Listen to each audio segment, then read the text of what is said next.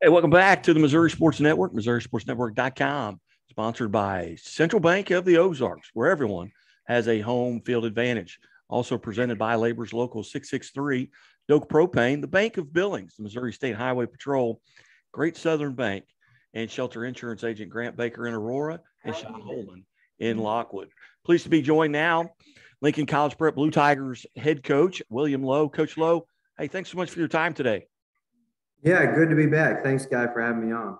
You bet. And back to back wins here as you head into this this quarterfinal matchup. First off, let's talk a little bit about you know both Harrisonville and Nevada. Forty-one points in each contest, hold them to under three touchdowns. Talk about the Blue Tigers' performance in the last two games. Uh, we talked about going into the playoffs, even though we had an undefeated regular season record at nine and zero. That the playoffs, we really had to bring another level of intensity because playoffs, everybody's oh no, you know. Um, we knew Harrisonville in the first game was going to come in ready to play because um, it's win or go home, you know, and everybody's got a shot in the playoffs. So I was proud of our kids for matching their intensity um, in game one, which was really round two of the playoffs. So they had already won a playoff game and had some confidence. So we knew we had to be ready to go from the start. And then uh, same thing last week with Nevada. We knew Nevada nine and two regular season. You know, won two playoff games already. Um, had some confidence. So we knew we really just had to set the tone early by playing fast and matching the intensity. What are some things that you feel like right now at this point of the season, as you head into the quarterfinals, you guys are really doing well? What is something that that Smithville's going to have to prep for? Uh, shoot, I mean Smithville's so good. I don't know if they'll have to prep for anything, but uh, Honestly, I mean, I, our defense has been our backbone pretty much all year. Um, you know, we're probably only giving up 11, 12 points a game. Uh, in high school football, that's pretty good. I mean, we played some really good teams. Um, so defensively, our kids just have a lot of confidence. Um, they don't get shaken up if a bad play happens. Um, that's what I really like about this team is their mental toughness. So I think if anything, hopefully we can match the physical and mental toughness of Smithville. Um, in high school, X's and O's and schematics only mean so much uh, if the kids don't believe very much or if they're not very mentally tough. So I would say uh, just the resiliency and mental toughness of our kids has been a strength and being able to run the ball.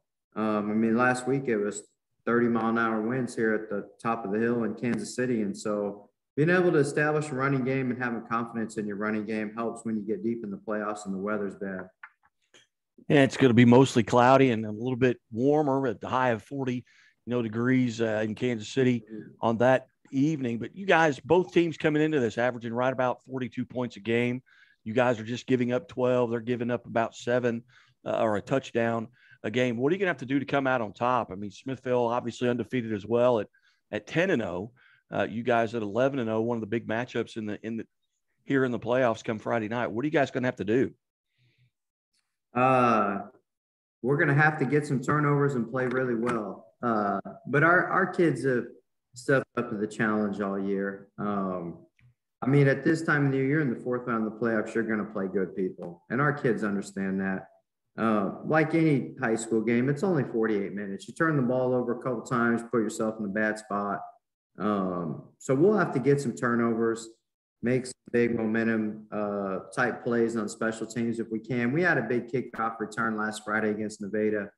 Uh, they had scored to make it a one or two score game and kicked off to us, and we, you know, had a 98 yard kickoff return um, that put the momentum back on our side, and that's huge in high school. So you never want to get down too much where um, you can't regain some momentum. Um, so that's the biggest thing. Just try to stay stay in the game as long as possible. If we can stay in the game as long as possible um, and hang with them, maybe we can get some momentum type plays late in the game to swing our way.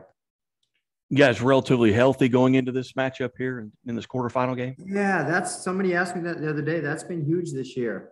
Um, in all my years of coaching, this might be the first year where we've had everybody that started the year finishing the year. Um, we've been really lucky. I'd like to attribute that to our off-season workouts and weight program, but you know, injuries sometimes are just freak things. So um, we've been really lucky and blessed this year not to have any kids go down. What time do the uh, gates open? You guys play at seven o'clock there in Kansas City. What time do the gates open? And uh, How can, how can people get tickets? Is this all online now with the virtual tickets now? Yeah, uh, our district was trying to push for uh, tickets to be sold at the gate, but I guess that's a MSHSAA thing now where all the playoffs are digital and online. So I guess everybody's got to get it online. And then to be honest with you, I still don't know where we're playing at. Um, obviously, we want to host at Lincoln. We're supposed to play at Lincoln. Our kids love it here. We feel like we got a great home field advantage here. Um, but our district, I think in the state of Missouri, they're trying to make up for that lost revenue last year from COVID. So they're trying to push it to maybe a neutral site with bigger capacity to make more money. When they say it's not about money, it's always about money. So um, we would like to play here at Lincoln, but I can't give you a definitive answer right now. Well, that's uh, that's MSHSAA. You know, a lot of times they they they make decisions that we don't understand. But uh, right, right. Uh, again, coach, congratulations on a tremendous season. No matter no matter how it ends, you know, on right. Friday night. Uh, but hopefully, we'll get to, get an opportunity to visit with you again next week and getting ready to go into a semifinal game. Yeah, I appreciate it. Thanks for having me on. You bet, Coach William Lowe, head football coach, Lincoln College Prep Blue Tigers. They take on Smithville on Friday night in the Class Four state quarterfinals. But, Coach, we'll talk to you soon. All right. Thank you.